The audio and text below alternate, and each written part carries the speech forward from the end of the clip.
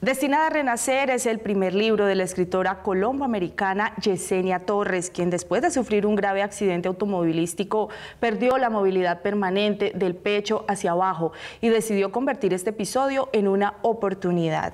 Logró abrirse un camino prometedor como conferencista, coach de vida y a favor de las personas con movilidad reducida. Ha recibido varios premios y busca llevar un mensaje de optimismo a quienes enfrentan una situación difícil. Hija de padres colombianos, Yesenia Torres nació en Nueva York. La prueba más dura de su vida la vivió a los 21 años, cuando sufrió un grave accidente automovilístico que le ocasionó una parálisis del pecho hacia abajo. Eso fue un cerrar y abrir de ojos, totalmente, literalmente, un giro 360 grados, sin yo pedirle, sin yo quererlo, pero sí es mi responsabilidad porque yo me fui con, con un grupo de chicas hacer un viaje desde Miami a Nueva York y obviamente asumo las consecuencias de mis actos.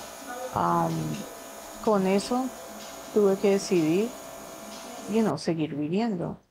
o sea, si no me morí en ese accidente, fue una segunda oportunidad. Y justamente Yesenia optó por convertir este momento de adversidad en una oportunidad para ayudar a los demás. Se abrió paso como activista y defensora infatigable de los derechos de la población con alguna discapacidad, como si quisiera enseñarle al mundo que las limitaciones que paralizan al ser humano solo están en la mente. Por algo estamos aquí.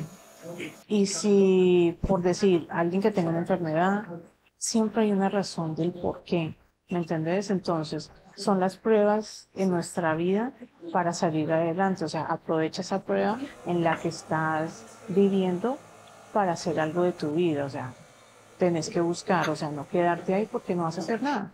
O sea, es tu decisión, o vives o no vives. Su liderazgo la hizo merecedora de varios premios en los Estados Unidos y en medio del confinamiento generado por la pandemia escribió su primer libro, Destinada a Renacer, como parte de una trilogía con la que quiere llevar un mensaje de optimismo a la humanidad. Este primer tomo es la introducción es la introducción de lo que me pasa a mí. O sea, empezamos con la con el accidente. Y de ahí todos los sucesos, o sea, la locura que pasa cuando de repente estás en otra vida, otra vida que no, no has elegido y tenés que bregar con tu familia.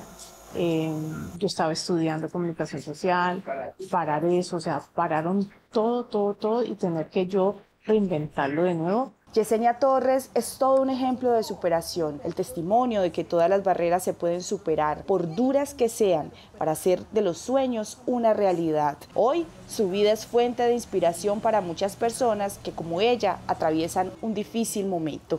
Pues,